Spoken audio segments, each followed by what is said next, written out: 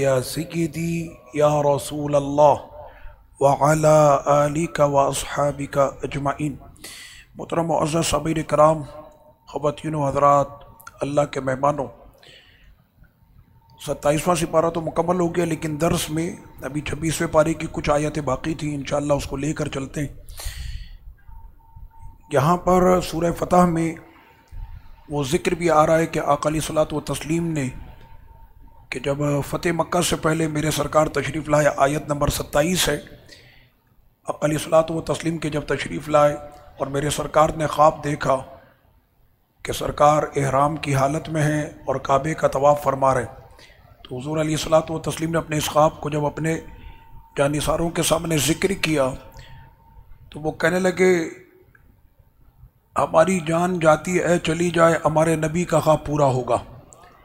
अब तो उम्र होगा। वो इन चीज़ों से नहीं घबराते थे कि कुफ्र हमें क्या कहेगा, कुफ्र नाराज़ ना हो जाए। इन चीज़ों से उनकी कोई परवाह नहीं होती थी। और हजूर का सच्चा ग़ुलाम वही होता है, आशिक रसूल वही होता है जो इन चीज़ों की परवाह ही नहीं करता।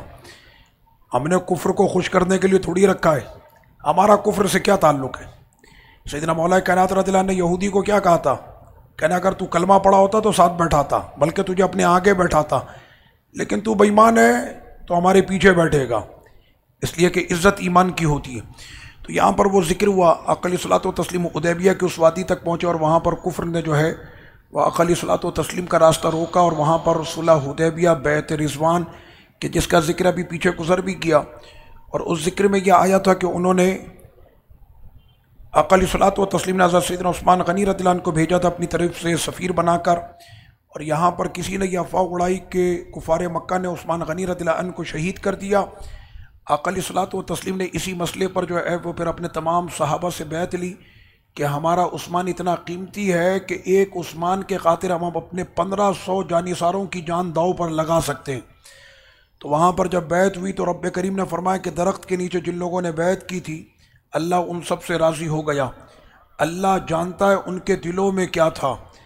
तो मैंने कहा, जब अल्लाह जानता उनके दिलों में क्या था तो अगर कोई चरसी मवाली खड़े होकर उन सहाबा के ऊपर बकबक करे तो हमें उसकी तरफ़ कोई कान नहीं धरना कि इसने क्या किया और उसने क्या बोला। जिनके ईमानों की तस्दीक मेरा खुदा कर दे तो उनके ईमान से बढ़कर किसका ईमान हो सकता? तो यहाँ पर वही ज़िक्र आया इसी आयत में महलकिन रूसक व मुकसरीन ला तखाफून क्या अकली सलात व तस्लीम हदैबिया से फिर वापस तशरीफ़ ले आए थे और उम्र नहीं था, नहीं किया और ना करने दिया उन लोगों ने। लेकिन रब करीम ने फरमाया कि हबीब अपने ग़ुलामों को खुशखबरी दे दें, या आज आपको मक्के में जाने नहीं देते। करीब वो वक्त आएगा कि पूरा मक्का ही आपका होगा। और उसी के कुछ दिनों के बाद, कुछ महीनों के बाद फ़तेह मक्का हुआ और अकली सलात व तस्लीम बग़ैर लड़े। सिदना खालिद बिन वलीद का थोड़ा बहुत मुकाबला हुआ था, इसलिए कि ये खालिद बिन वलीद की शान नहीं है कि वो तशरीफ़ लाए और दो चारों को फारिग ना करें। तो बारह बंदे उन्होंने मारे थे। और दो मुसलमान भी जाम शहादत नोश कर गए थे। फ़तेह मक्का के अंदर यही टोटल लड़ाई हुई है और ऐसे ही पूरा मक्का जो है वो फ़तह हो गया था। तो रब करीम ने फरमाया कि वही खुदा है कि जिसने अपने रसूलों को भेजा हिदायत और दीन हक के साथ ताकि वो तमाम दीनों पर दीन इस्लाम की हकानियत को वाज कर दे और काफ़ी है, अल्लाह उन पर शहीद गवाह। मोहम्मद रसूलुल्लाह। सल्लल्लाहु अलैहि वसल्लम, ये कुरान मजीद की सूरत के अंदर ये बड़ी मशहूर आयत है कि जिसमें मेरे सरकार का नाम नामी इसमें गिरामी है। एक मज़े की बात आपको बताऊँ, अल्लाह ताला ने जब अम्बिया कराम का ज़िक्र कुरान मजीद में किया तो उनको नामों के साथ किया। या इब्राहिम, या दाऊद, या सुलेमान, या ज़करिया, या याहिया तो सबको जो है उनके नामों से पुकारा है। पूरे कुरान में अल्लाह ने अपने महबूब को उनके नाम से नहीं पुकारा। सिफतों से पुकारा, या युलमज़म्मिल या युलमुदसर या रसूल, या नबी, यासीन, ताहा, शाहिद मुबशर नज़ीर दाई सिराजम मुनीर, ये सारे नाम मेरे सरकार के हैं। तो अकली सलात व तस्लीम को जहाँ पर रब करीम ने नाम से भी लिया है तो सिर्फ़ नाम नहीं, नाम के साथ फिर सिफत भी होगी। नाम होगा, नाम के साथ अनात भी होगी। माँ काना मोहम्मद नबा अहदिम रिजालिक वलाकर रसूल अल्लाह वख़ातमन नबीन जहाँ पर हजूर का नाम आया तो साथ में फिर इतनी लंबी नात भी है कि मेरे अभी तुम में से किसी मर्दों के वालिद नहीं, लेकिन वो अल्लाह के रसूल और वह आखिरी नबी हैं। तो यहाँ पर भी जब रब करीम ने अपने हबीब का नाम लिया तो सिर्फ़ नाम नहीं लिया, जैसे दीगर अम्बिया का है अलीम के जो नाम है, या जकरिया, या दाऊद, या इब्राहिम। तो यहाँ पर फरमाया, मोहम्मद रसूलुल्लाह। यानी पूरा नाम है मोहम्मद सल्लल्लाहु अलैहि वसल्लम। और वो लोग के जो आपके साथ हैं, उनकी शान यह है कि वो काफिरों पर बिजली बन के कड़कते हैं। और मोमिनों के लिए उनके दिल इतने नरम हैं कि वो अपनी जान दे रहे होते हैं। प्यास की शिद्दत होती है, ओहद की वादी है, आखिरी साँसें हैं और वो पानी पी रहा है। तो बराबर से आवाज़ आती है, भाई, मुझे पानी चाहिए। उसने पानी छोड़ा, दूसरे को दिया, दूसरे ने, फिर तीसरे को दिया और तीसरे ने सबसे आखिर में पहुँचाया। और जब सबसे आखिर में पहुँचा तो वो जाम शहादत नोश कर चुका था। दौड़ कर पहले वाले के पास आए कि चलो अब इसी को पानी पिला देते हैं। तो देखा तो पहले से लेकर आखिर तक सारे जाम शहादत नोश कर चुके थे। इनके दिलों में इतनी नरमी थी, अपने आखिरी वक्तों के अंदर भी पानी की दो बूंदें उन्होंने पी नहीं, बल्कि अपने भाई पर वो फिदा कर दी। तो रब ने फरमाया कि उनके दिल इतने नरम होंगे और आप देखेंगे कि रुकू और सजदों की वजह से उनकी पेशानियाँ चमकती होंगी और उनके चेहरे का नूर बताएगा, ये रसूलुल्लाह के ग़ुलाम बैठे हैं।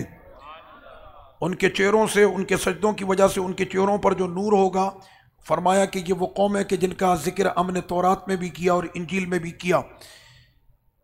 अकली सलात व तस्लीम ने फरमाया, मेरे दिल की बेकरारी मेरे चाहने वालों के लिए। सहाबा कहने लगे, हम चाहने वाले नहीं। फरमाए तुम मेरे सहाबा हो। अन तुम असहाबी। तुम मेरे सहाबा हो। अहबाबी। एक है असहाब, एक है अहबाब। फरमाया अन तुम असहाबी। तुम मेरे सहाबा हो। चाहने वाले अहबाबी। कौमन आमनूबी वलम यरौनी। चाहने वाले तो बाद में आएँगे।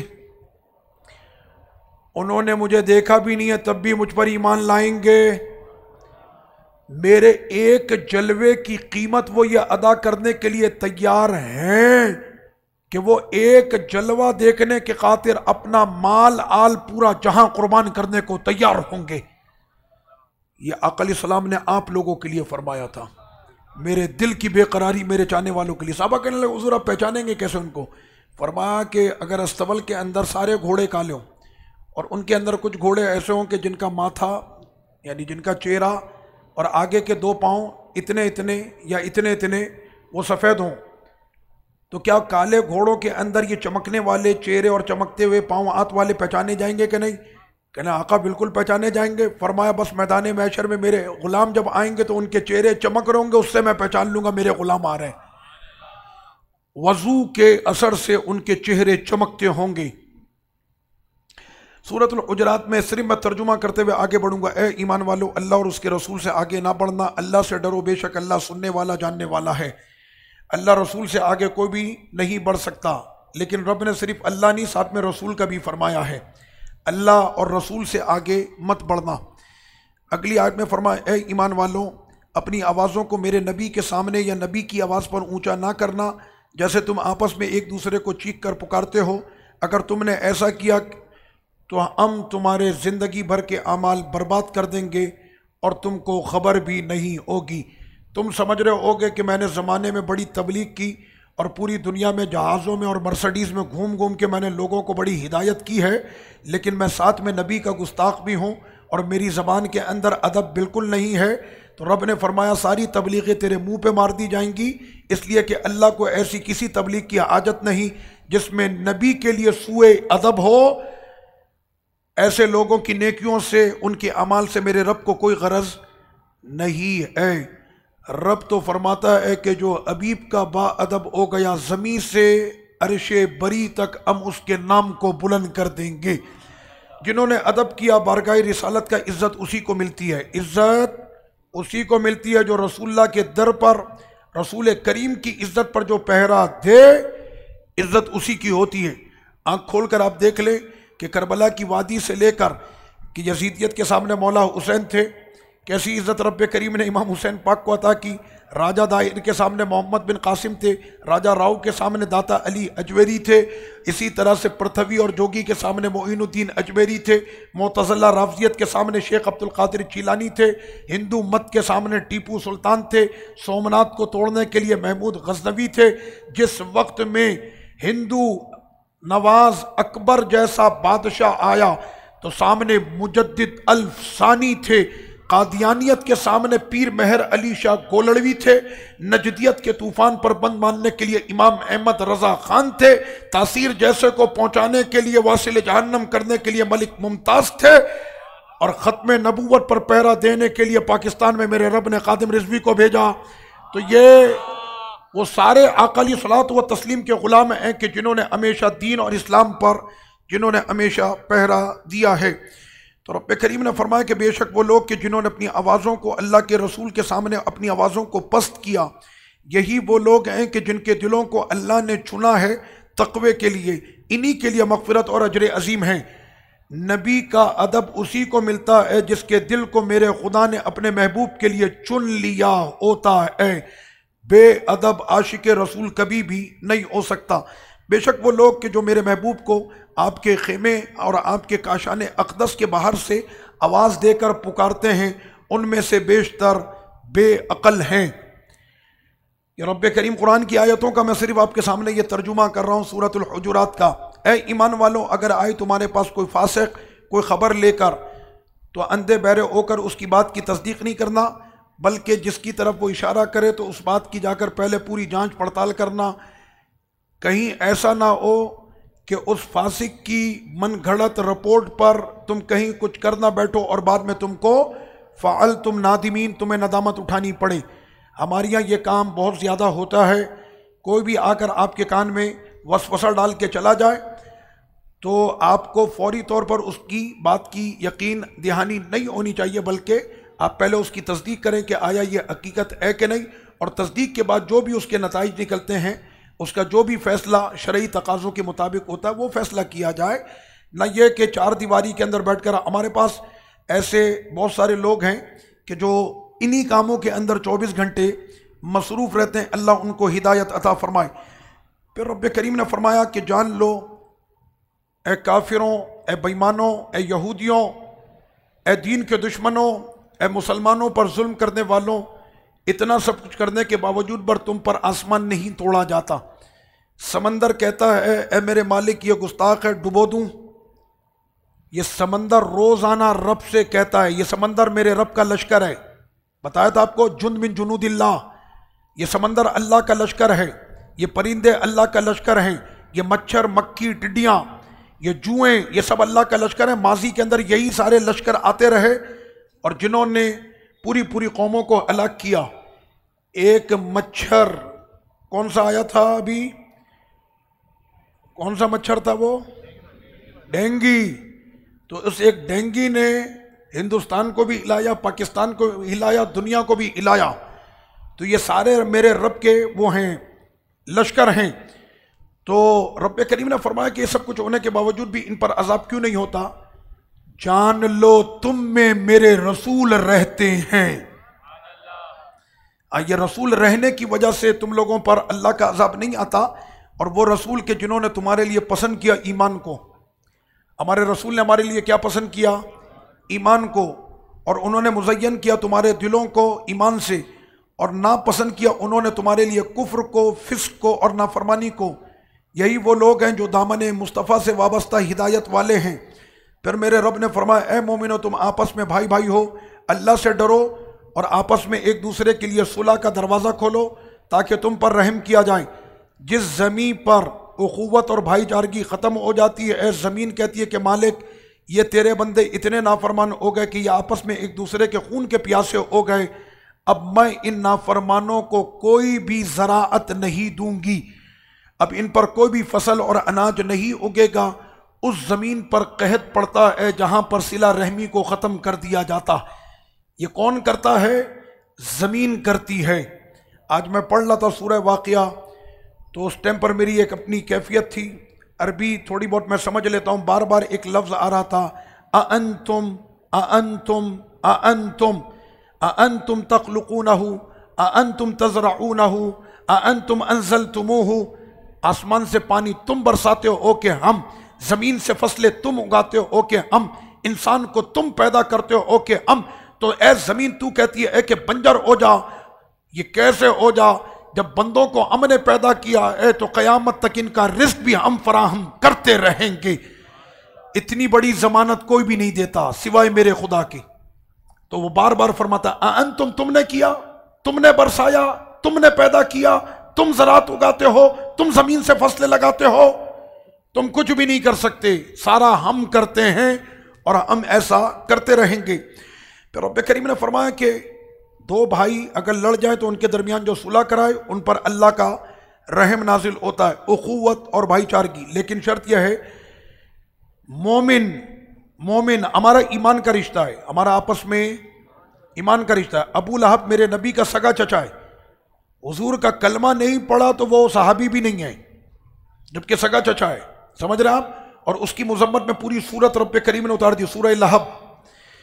तो हमारे यहाँ पर ब्लड रिलेशन नहीं, हमारे यहाँ होता है बिलीव रिलेशन एतमाद का रिश्ता और हमारा एतमाद हमारा रसूल है कि हम रसूल के उस दायरे में और उस करम के साय में हम सारी उम्मत एक हैं। हम सारी उम्मत एक हैं। मेरा आपका वास्ता क्या? है मैं आपको नहीं जानता, आप मुझे नहीं जानते, हमारा क्या रिश्ता है? मैं आपसे मोहब्बत करता हूँ, आप मुझसे मोहब्बत करते हैं। रिश्ता क्या है? वो रिश्ता प्यारे मुस्तफ़ा का, वो रिश्ता कलमे का है, वो रिश्ता नबी की मोहब्बत का, वो रिश्ता ईमान का रिश्ता है। फिर आगे फरमाया ए मेरे ए लोगों, ईमान वालों, सुनो, किसी कौम का मज़ाक नहीं उड़ाना। जो तुम्हारे मोमिन भाई हैं, किसी का मज़ाक, किसी कौम का मज़ाक नहीं उड़ाना, ना मर्द उड़ाए, ना औरतें। लेडीज़ के अंदर ये आदत बहुत ज़्यादा होती है। किसी का दांत बड़ा हो तो उसका नाम रख दिया जाएगा। किसी की नाक बड़ी हो तो उसका नाम बदल दिया जाएगा। किसी की आँख बड़ी हो तो उस हिसाब से उसका नाम रख दिया जाएगा। किसी का रंग काला हो तो उस हिसाब से उसका नाम रख दिया जाता है। ये हराम और गुनाह कबीरा है। आप उस शख्स का मज़ाक नहीं उड़ा रहे जिसने उसको बनाया है। आप उसका मज़ाक उड़ा रहे माओ के शिकमों में सूरतें वो खुदा बनाता है जैसी वो चाहता है। अब आपने जब उसका मज़ाक उड़ाया, काला, और कोई भी लफ्ज़ आपने उसके लिए इस्तेमाल किया तो मेरे रब ने फरमाया गुनाह कबीरा है। लोगों की तरफ़ मजलिस में बैठकर एक दूसरे को इशारेबाजी करना, ये गुनाह कबीरा है। लोगों के लकब को बिगाड़ देना, उनके नामों को बिगाड़ देना, ये गुनाह कबीरा है। और फिर फरमाया कि अपने भाइयों के लिए बदगुमानी नहीं करना। बदगुमानी समझते हैं? यानी आप किसी से मिलने के लिए गए, उसने दरवाज़ा नहीं खोला, आपने फ़ौर बदगुमानी कर ली कि यार ये तो हमेशा ऐसे ही है कहीं इसको एक कप चाय पिलानी ना पड़ जाए, कंजूस। दरवाज़ा ही नहीं खोलता ये। हो सकता है कि वो हमाम में हो हो सकता है नमाज़ पढ़ रहा हो हो सकता है किसी और मसरूफियात में हो। और दरवाजे पर जाने का तरीक़ेकार आपको पता है ना, किसी के दरवाजे पर जाए, कितनी मरतबा दस्तक देनी है? तीन बार दस्तक देनी है, तीन मरतबा। और दस्तक से मुराद यह है कि आहिस्ता आहिस्ता यह नहीं है कि पूरा दरवाज़ा ही हिला के रख दिया उसका। आहिस्ता से दस्तक देनी है।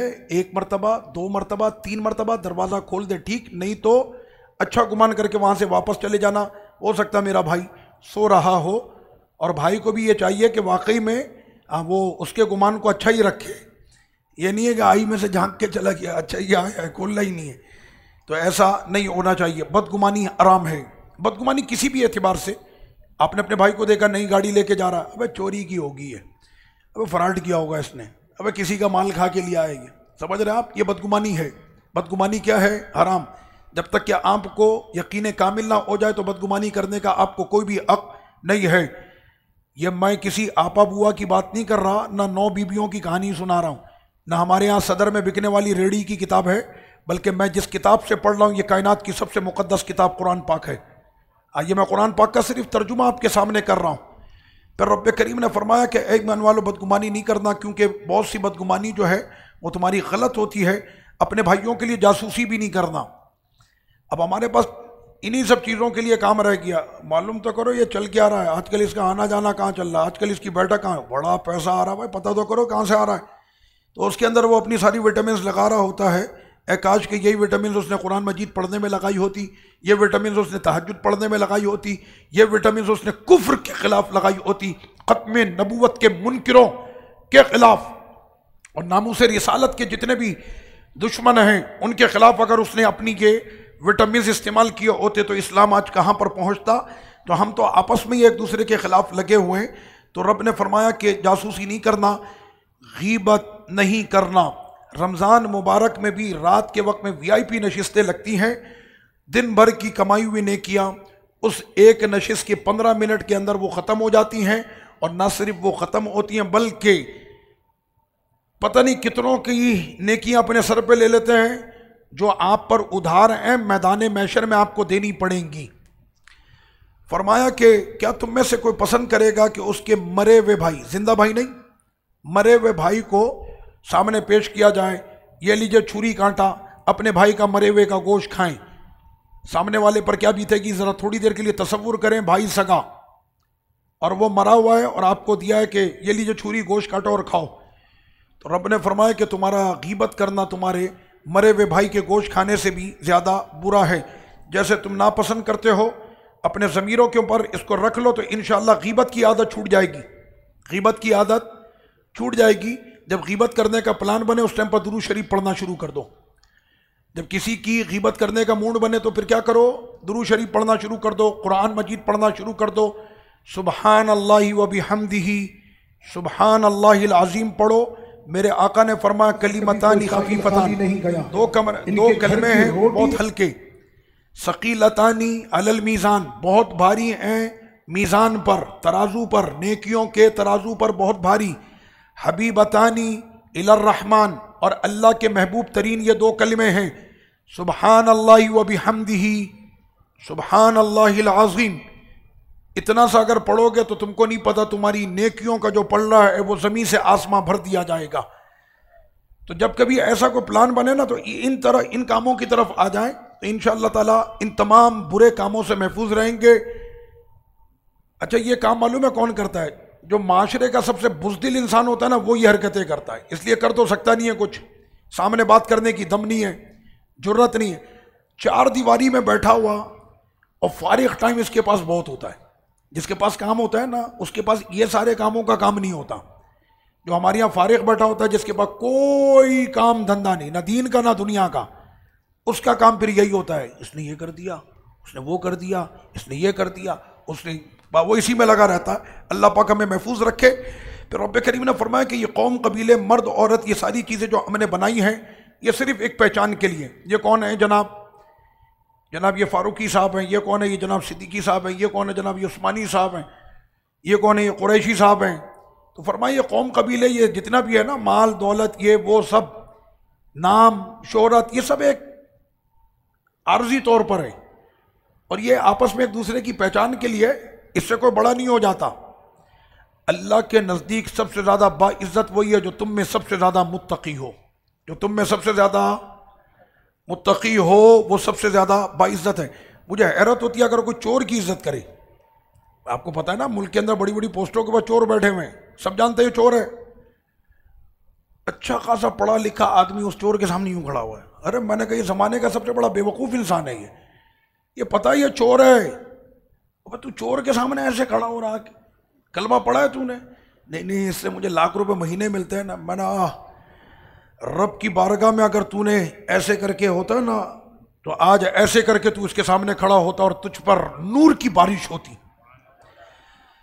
फिर रब करीम ने फरमाया, ईमान और इस्लाम की तारीफ़ कि वो लोग के जो आराबी थे, जिनके दिल सख्त थे, बदवी उन्होंने कहा, हम ईमान लिया है। ए महबूब, आप इनसे कहिए कि तुम ईमान नहीं लाए, बल्कि तुम कहो कि हम इस्लाम में दाखिल हुए। असलम ना हमने कबूल कर लिया।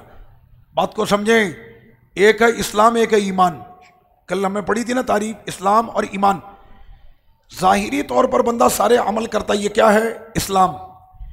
लेकिन वही अमल जब वो दिल से करता है तो वो क्या है? ईमान। हमारा ईमान है कि खुदाई हमारा रब है। हमारा ईमान है कि प्यारे मुस्तफ़ा ही हमारे रसूल हैं। हमारा ईमान है कि कुरानी हमारा दस्तूर है। हमारा ईमान है कि हमारा नबी हमारी महशर में शफात कराएगा। ये सारा हमारा क्या है? ईमान है। और हमारा ईमान है कि जो उनकी नालैन पे कुर्बान हो गया, वो जमाने की सारी इज़्ज़त पाएगा। ये हमारा ईमान है। तो जाहिरी तौर वाला नहीं, बल्कि बातनी तौर पर जिनके वजूद के अंदर, आप ईमान वाले हैं? जी। आप कैसे ईमान वाले हैं? अब्बा ने बताया था मैं ईमान वाला, जब पैदा हुआ था तो अजान हुई थी मेरे दाएँ कान में और बाएँ कान में इकामत। और मुझे बताया था कि तुम मुसलमान हो, इस्लामी घर में तुम्हारा पैदा हुए। अच्छा आपको वैसे नहीं पता कि ईमान वाला होता कौन है? सईदना इब्राहिम सलाम फरमाते हैं कि देखो, मैं ईमान वाला कैसा, मेरा रब मेरे ईमान की तारीफ़ करता। मेरा रब मेरे ईमान की तारीफ़ करता है। चाँद दे का कहना है। कहना, तुम इसको खुदा कहते हो? सूरज निकला, वो छुप गया। सूरज डूबा तो आपने फरमाया तुम इसको कहते हो जो डूब जाए वो खुदा नहीं हो सकता। तो सैदना इब्राहिम सलाम ने उन तमाम निशानियों की खुदा को देखने के बाद कहना ये तमाम चीज़ें खुदा नहीं ओ मेरी कौम अकल पकड़ो जिसने इन तमाम चीज़ों को पैदा किया है वो खुदा है। आ, ये नहीं है इनको तुम लोगों ने किसी ने चाँद को पकड़ा हुआ है किसी ने सूरज को पकड़ा हुआ है। और हिंदू तो ऐसा है सुबह नाना मरा शाम को बिल्ली आई। नाना जी, प्रणाम अस्तफर कहना, नाना आ रहे तो ये उनका मज़हब होता है, अल्लाह ताला हम सबको ईमान पर सलामत रखे। ईमान पर कायम रखे, इस्तकामत दे। ईमान बचाकर जो निकल गया, वो कामयाब है। अभी हमने सत्ताईसवें सिपारे के अंदर पढ़ा, मैं भी पहुँचता हूँ तो वहाँ पर आपको मैं बताता हूँ।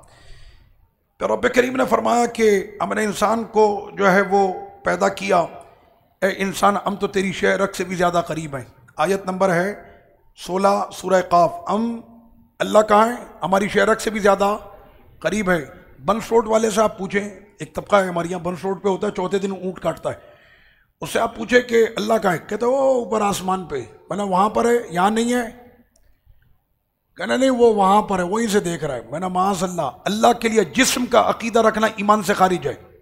अल्लाह जिस्म से पाक है जिहद से पाक है, ज़माने से पाक है, मकान से पाक है, उसकी ज़ात अल्लाह महदूद है, उसके सिफात अल्लाह महदूद हैं, उसकी कोई भी चीज़, उसकी कोई भी शय, उसकी कोई भी सिफत महदूद, और जिसने महदूद किया, वो फिर ख़ुद महदूद हो गया।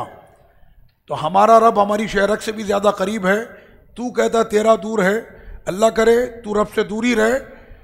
हमारा रब हमसे करीब है, और हम अपने रब के करीब हैं। अब सकरात मौत का ज़िक्र किया, वजह सकरतमौत बिला अक, अल्लाह की पना सकरात की कैफियत हर एक को आनी है। मौत की जो जाकुनी का वक्त होता है, और जिस वक्त में उसकी रूह उसके जिस्म से निकल रही होती है, उसको कहते हैं सकरात का आलम। उस सकरात के आलम के अंदर बंदे की एक अजीब कैफियत होती है। ये शैतान है ना, माँ का रूप धार के आता है। आपके सिराने खड़े होकर कहेगा, मैं तुम्हारी माँ हूँ और मैं ईसाई हूँ तुम ईसाई हो जाओ। ये मैं आपको हकाइक बता रहा हूँ रिवायतों से, सही रिवायतों से। फिर बाप का रूप धार के आएगा पैर की जानब। और इधर जो है वो आप मौत की कशमकश में, वो पैर की जानब आकर खड़ा होता है। मैं तुम्हारा बाप मैं यहूदी हूँ, तू यहूदियत को कबूल कर ले। इसीलिए तो कहा कि सकरात का वो वक्त होता है कि उस वक्त में बंदा बार बार क्या दुआ करता है? ए मेरे रब, मौत के वक्त में कलमा जारी रहे। आप जानते हो उस वक्त में क्या होता है? अल्लाह अकबर। जिन्होंने हज किया, हज में वो एक अमल करते हैं, रमी। शैतान को तीन दिन होती है ना, शैतान की ठुकाई ये रमी के जो पत्थर होते हैं, ये आपकी मौत की घड़ी में साथ देते हैं। जिस वक्त में इबलीस आपके सिराने और आपके पिराने खड़ा होता, और आपके वो ईमान को खींचने की जब वो कोशिश करता आपकी हाथों से मारी हुई रमी की वो कंकरियाँ ऐसे आग और मिसाइल की तरह आती और इस इबलीस पे पड़ना शुरू हो जाती उस वक्त में वो रमी की कंकरियाँ आपको बचाती हैं। देखा, मोमिन का कोई भी अमल बेमकसद का नहीं है, ये भी मकसद है। और वहाँ पर रब करीम का करम होता है, सरवर कौन सल्लल्लाहु देखें, जिनको जिससे मोहब्बत होगी ना, मौत के वक्त में वो ज़रूर आएँगे। जिसको रब से मोहब्बत है, रब ने फरमाया, हमारा करम होगा। महबूब से मोहब्बत है, महबूब की ज़ात होगी। सामने जब ये हसीन नज़ारे हों तो फिर वो मुस्कुराते हुए कहता, जल्दी करो, मुझे लेके चलो यहाँ से। जल्दी करो। बुज़ुर्गों के बारे में नहीं पढ़ा। जल्दी करो। हमने जाना यहाँ से। उसके बाद आ गया वो ज़िक्र रब करीम ने फरमाया कि जो रहमान से डर गया। आयत नंबर है चौंतीस, सूरह कौफ। जो रहमान से डर गया, बिन देखे। अल्लाह को तो हमने नहीं देखा ना। अल्लाह से डरते हैं। रब ने फरमाया, यही अदा तो प्यारी लगती है, बिन देखे हमसे डरता है। एक होता है ना कि किसी को देख ले, यार, बहुत खतरनाक आदमी है तो गोली मार देता है तो उसका डर हो जाता है। यार, ये तो बहुत खतरनाक पार्टी है। एक डर हो जाता है। मेरे रब ने फरमाया कि ये बंदा, ऐसा बंदा है कि इसने अभी हमको देखा भी नहीं, तब भी हमसे डरता है। अब इसके डरने की वजह से रब ने क्या फरमाया? बिकल बिन सलीम। यही तो वह है कि जिसका दिल सलामत है। और जन्नत के अंदर वही लोग दाखिल होंगे जिनके दिल सलामत होंगे। उतखलू आबी सलाम।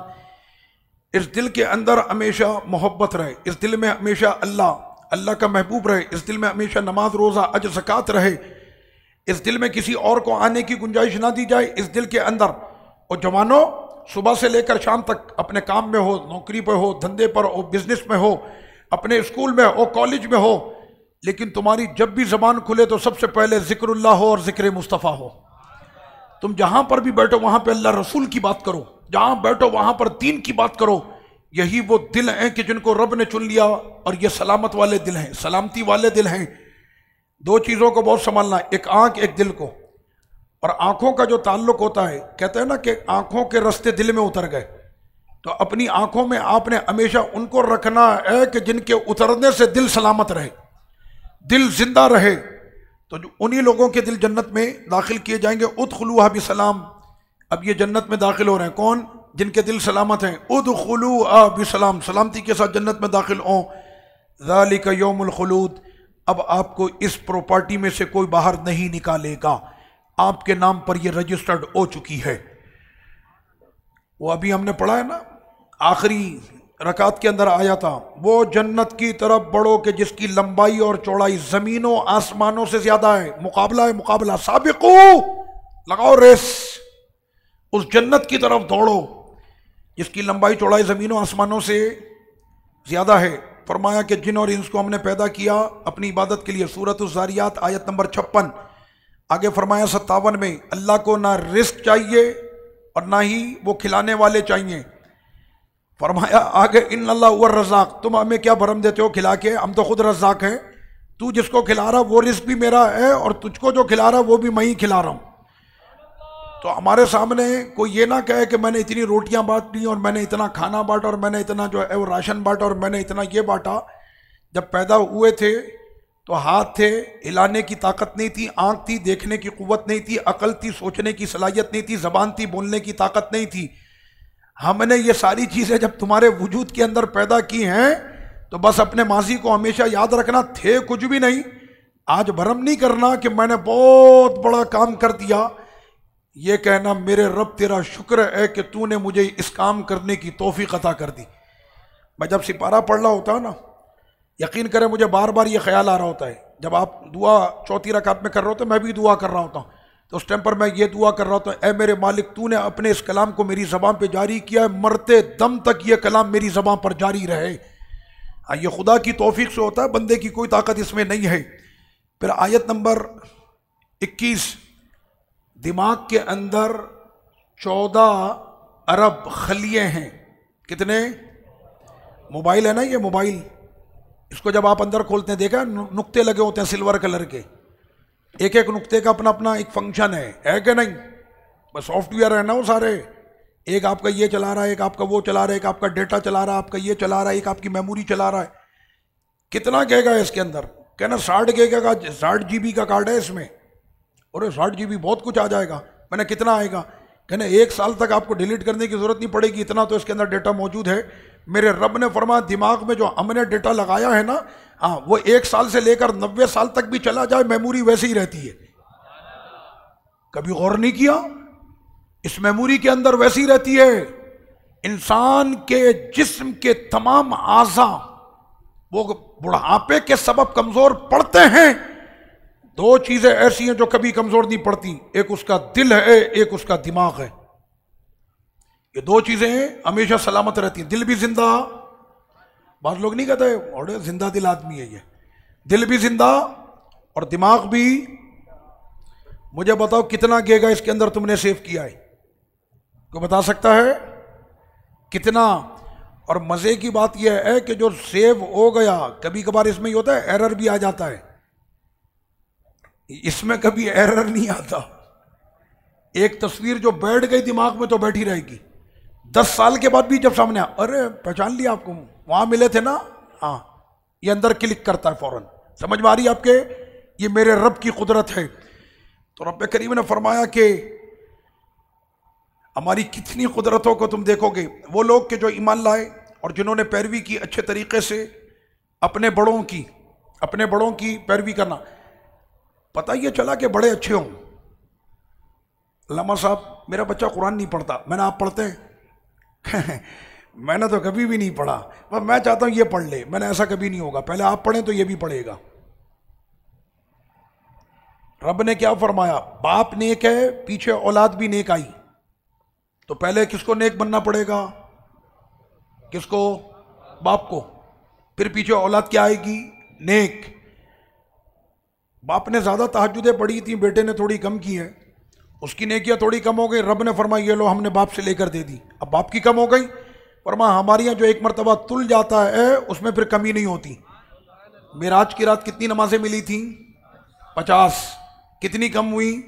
पैंतालीस। जब पचास मिली थी तो सवाब भी पचास का था। सवाब कितने का था? पचास का। पैंतालीस वापस ले ली। तो पैंतालीस वापस ली तो सवाब भी तो वापस किया ना। रब ने फरमाया, हमारे यहाँ जो एक मरतबा दे दिया जाता है, फिर वापस नहीं होता। पढ़ोगे पाँच सवाब पचास का ही मिलेगा। ये करम है ए, मेरे सरकार का।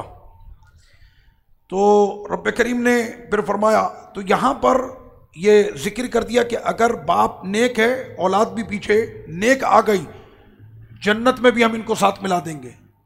वो हमने चौबीसवें पारे में पढ़ा था वमन सलाहमिन आबाई व अजवाजी मजुरियाती ये नहीं कि सिर्फ़ बेटों को बीवी भी नेक है तो शोहर के साथ होगी। माँ बाप नेक हैं तो वो भी साथ होंगे। अरे पूरा खानदानी नेक था, सबको साथ कर दिया। चलो। बड़ी मोहब्बत वाली बात आ रही है। रब करीम फरमा अपने हबीब को ए मेरे महबूब, उस सबर पर आप कायम रहें जिसका आपके रब ने आपको हुक्म किया है। सबर पर कायम रहें। सरकार से बढ़कर सबर करने वाला कौन हो सकता है? उसके बाद जानते क्या फरमाया? रब ने फरमाया इन न कभी आ यूनी ना। अगर इसकी अरबी आपको आती ना हम नहीं कहते जिससे बड़ी मोहब्बत हो, अद दर्जे की मोहब्बत हो। और वो काफ़ी ज़माने के बाद मिले तो हम क्या कहते हैं? अरे, एक ज़माने के बाद मुलाकात हो रही। कहना, क्या बात कर रहा हूँ? मैं तो हर वक्त आपको देखता हूँ। कहना, क्यों? आप जो मेरी आँखों में रहते हैं, आप हर वक्त मेरी आँखों में रहते हैं। आपसे इतनी मोहब्बत है। रब यही लफ्ज़ अपने हबीब के लिए फरमा रहा है। हबीब, आप अपने सबर पर जिसका आपको हुक्म दिया है, आप बेशक अपने रब की आँखों में रहते हैं। ये सिर्फ़ अबीब के लिए रब करीम ने फरमाया इन न कभी आयुना बेशक आप हमारी आँखों में रहते हैं। अब वो रब करीम की आँखें ऐसी नहीं हैं, कोई ये ना तस्वुर करे रब करीम की आँखें उसकी शान के मुताबिक है। उसका देखना उसकी शान के मुताबिक है। सूरत नजम का यहाँ पर ज़िक्र हुआ व नजमी इदा हवा। कसम है उस चमकते हुए तारे की कि जब वो बुलंदी के तरफ़ प्रवास करता है और यहाँ पर वो तारा वो आमिना का लाल है। वो मेरे सरकार हैं। वो नबियों के ताजदार हैं। और वो हबीब के, अल्लाह के हबीब हैं।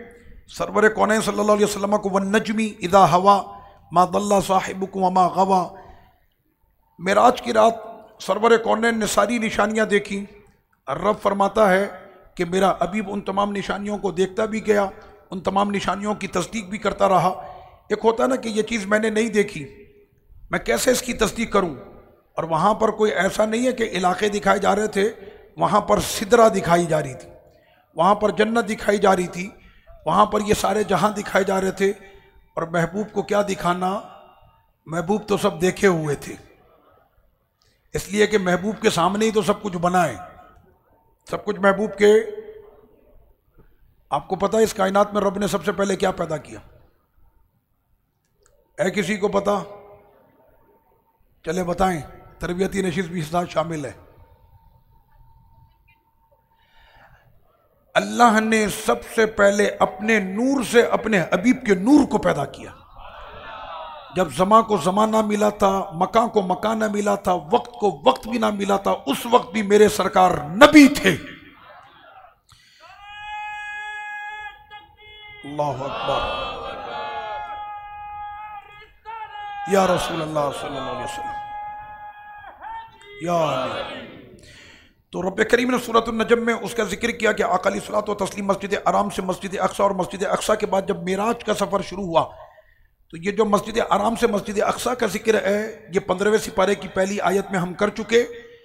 मस्जिद अक्सा से फिर जो है, मेराज।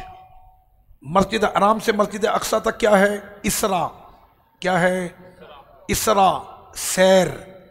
और मस्जिद अक्सा से आसमानों की जानब क्या है? मेराज तो उसी मेराज का ज़िक्र है। सुम्मा दना फ़तदल्ला, फ़काना काबा कौसैनी औदना। उस रात में महबूब की ज़ात रब की तजलियात के इतने करीब हो गई थी कि दो कमान के जैसे दो किनारे इतना फासला कुरान ने कहा अव अदना, इससे भी कम था।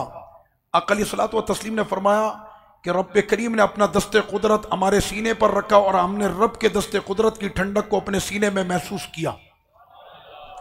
अकली सलाम फरमाते हैं कि नूर के नूरानी समंदर में जबरील अमी बहुत पीछे रुक गए। सिदरा तक आए थे। ये ज़िक्र आ गया आइंदा सिदरतमतहा जन्नत और सिदरा ये साथ साथ हैं। सिदरा कहते हैं, बेरी का एक पेड़ है। जन्नत के साथ है। सातवें आसमान से ऊपर। अच्छे अमल करेंगे, बगैर फ़्लाइट के सब जाएँगे सातवें आसमान के ऊपर। अल्लाह के जितने मेहमान हैं, इन सबको ये मकाम मिलना है, लेकिन अपनी कोशिश जारी रखनी है। तो आका करीम सल्लल्लाहु अलैहि वसल्लम उस समंदर में है, वो नूर का समंदर है, सारा नूर ही नूर है, उस नूर के समंदर में उसूर का सफ़र हो रहा है। तो अकाली सलात व तस्लीम ने फरमाया कि गैब से ये सदा आती है क़िफ़ या मोहम्मद इन रब का युसली हमारे यहाँ जब कोई हमारा महबूब दोस्त आए, हम उसका इस्तेमाल कैसे करते हैं? फूलों से, हारों से, कारपेट बिछा के, कि आज मेरा महबूब दोस्त आ रहा है। बैठे रहे बैठे रहे बैठे रहे। एक दो आदमी चले जाएँ, बस। इन खैर है खैर है खैर है, कुछ भी नहीं हुआ। दुरुद पाक पढ़े। अल्लाह मसल अला सैदना मौलाना मोहम्मद वाला आली वसाबी वबारक वसलम इन दुरू शरीफ की बरकत से कुछ नहीं हुआ होगा। चले, ठीक है, बिल्कुल सही है।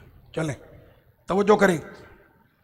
तो आका करीम सल्लल्लाहु अलैहि वसल्लम ने फरमाया कि जिस वक्त में हम उस नूरानी और नूर के समंदर से गुजर रहे थे तो सदा ये आती है ए मेरे हबीब, आप ठहर जाइए, आपका रब आप पर दुरूदों के गुलदस्ते पेश कर रहा। महबूब के लिए कौन से फूल बिछाए जाएँगे? सारे फूल तो उन्हीं के पसीने के हैं। तो रब ने फिर दुरूदों के गुलदस्ते ही पेश किए। तो अकली सलात व तस्लीम ने फरमाया, कुरान ने कहा माजाकल बसरुमा तगा। जन्नत देखें, सिदरा देखें, अर्श देखें लामका में पहुँचे, नूर के वो समंदर देखें। रब फरमाता है कि महबूब की आँखों में इतनी ताकत थी कि वो रब के जलवे भी देखे तो पलक ना झपके। ये ताकत रब ने अपने हबीब की आँखों में अता फरमाई थी। हज़रत मूसा सलाम तमन्ना करते रहे, रब्बी अरीनी, मालिक एक तजल्ली तो दिखा दे तो रब ने फरमाया, लन तरानी, आप मुझे नहीं देख सकते। हमारे जलवे तो वही देख सकेंगे जिनके सीने पर हम तीस पारे उतारेंगे। यहाँ पर रब करीम ने फरमाया, ये बहुत काम की बात है। आयत नंबर उनतालीस और चालीस, सूरह नजम। इंसान के लिए नहीं, मगर कोशिश, और जिसने कोशिश की, उसकी जजा हम उसको देंगे। बंदा कहे कि, मैंने तो नमाजें पढ़ ली, रोज़े रख लिया जक़ात दे दी अज कर लिया सब कुछ कर लिया। अभी अगर मैं चेकिंग करना शुरू करूँ ना तो हमारी नमाजियों में, मैं जर्नली बात कर रहा हूँ, हमारे नमाजियों में सत्तर फ़ीसद नमाजी ऐसे हैं जिनको कुरान पढ़ना नहीं आता। ये मैं आपको हकीकत बता रहा हूँ, वो कुरान मजीद पढ़ना कुछ चाहते हैं, पढ़ते कुछ और हैं। आपको पता है कितनी से कुरान मजीद के अंदर हल्की सी गलती से माना कितना बदलता है? अलम तरा फ़ा फ़ाला रब्बू का भी असहाबिल फील। अब ये जो फ़ाला है, इसको हमने खींचना नहीं है। फ़ाला रब्बू का फ़ाला रब्बू का ला रब्बू का अब किसी ने अगर पढ़ा जिसकी प्रैक्टिस नहीं, वो क्या कर रहा है? अलम तारा केफा, अब मैं नानी स्टाइल बता रहा हूँ ना। अलम तारा के फा फ़ाला रब्बू का माजल्ला ये फ़ाला की ला को खींचा जानते तर्जुमा क्या होगा? इसका तर्जुमा है मेरे हबीब, क्या आपने ना देखा कि आपके रब ने हाथी वालों के साथ क्या किया? अगर फ़ाला की ला को थोड़ा सा खींचा तो अब तर्जुमा होगा। ए मेरे हबीब, क्या आपने ना देखा कि आपके दो खुदाओं ने हाथी वालों के साथ क्या किया? हम दो खुदा के मानने वाले कि एक, अब ये फ़ाला की ला को अगर आपने खींच दिया ना, और किसी अरबी के सामने अगर खींच के पड़ा तो हो सकता है फिर वो खींच के, वो कहेगा कि ये क्या किया, उसको झटका लगेगा यहाँ पर कि इसने खींचा क्यों यहाँ पे? समझ रहे आप? अब हमें जबान तो आती नहीं। उसके बाद अगर मैं जाकर कहूँ, नानी अम्मा आपने सारी नमाजें इसी तरह से पढ़ी, आपकी तो एक नमाज़ भी नहीं हुई। फिर वो क्या कहेंगी? चल भाग यहाँ से, अभी आके मुझको समझा रहा है। हाँ मेरी नमाज़ नहीं, तेरी बहुत हो गई, बहुत बड़ा फाजिल काबिल बना हुआ है। ये मैं आपको एक स्टाइल बता रहा हूँ, हमारी जो कौम का एक स्टाइल होता है बात करने का। तो रब करीम ने फरमाया, मेरा रब कैसा करीम है? फरमाया, जिसकी कामिल नमाज़, कामिल रोज़े, कामिल जक़ात, कामिल आज सब कुछ होगा तो वही जन्नत में जाएगा। मेरे रब ने फरमाया, कोशिश तो करना। वो कोशिश तो करना। वो हम कोशिश पे भी नजात दे देंगे। कर तो कोशिश। कोशिश पे भी नजात होगी। कर तो सही कोशिश। मगर हरगिज इसका यह मतलब नहीं है कि मदरसे खुले हुए हैं, ऑनलाइन क्लासें खुली हुई हैं, नेट की दुनिया है। सौ सौ कारी बैठे हुए नेट पर तुम्हें कुरान पढ़ाने के लिए। उसके बाद भी आप बोले, नहीं भाई, हमने तो बॉल पे टेप चढ़ाकर क्रिकेट खेलनी है। हाँ फिर आपके लिए कोई वहाँ पर उजुर नहीं है। उजुर तो तब होता कि जब आपके पास वक्त बोलने के लिए जबान और पढ़ने के लिए अगर मुअल्लिम ना होता तो फिर आप कहते, उजुर है। अभी कोई उजुर नहीं है। तो रब करीम माफ़ फरमाने वाला है, लेकिन उसकी गिरफ्त भी, वो शदीदुल्क़ाब भी है और उसकी गिरफ्त बहुत सख्त है। अल्लाह पाक हम सबको अपनी गिरफ्त से महफूज रखे। आप लोग तशरीफ़ रखें, क्या है? सबके लिए लंगर का इंतज़ाम है। और उसके बाद फारूकी शबीना चले जी। मुस्तफ़ा जाने रहमत पे लाखों सलाम शम बज में हिदायत पे लाखों सलाम बेबनावट अदा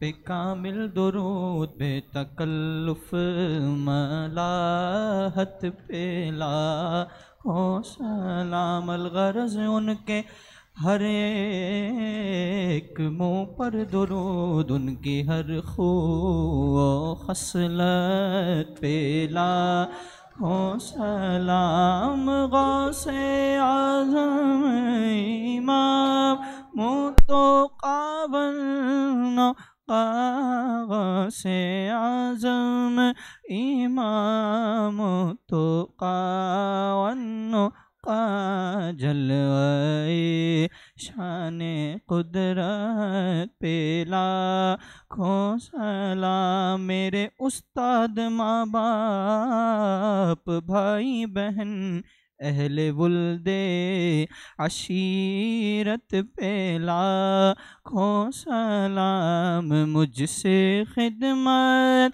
के खुदसी कहें हारजा मुस्तफ़ा, जाने रहमत पेला, खो सलाम शम बज में हिदायत पेला।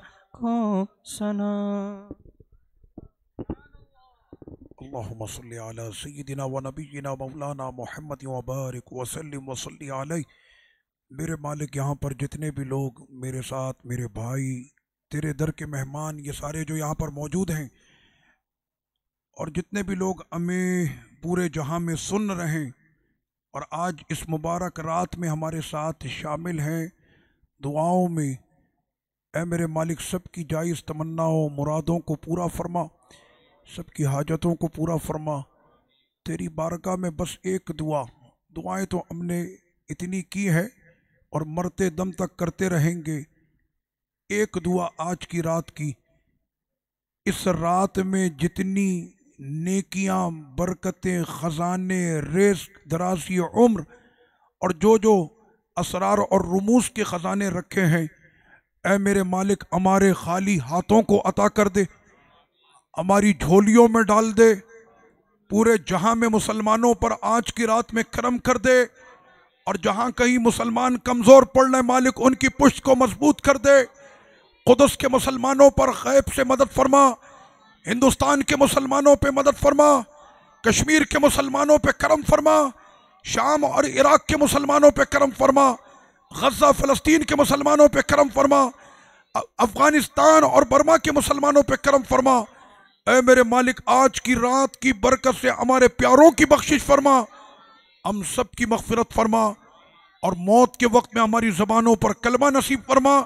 हमारे दिलों में ईमान को सलामत फरमा।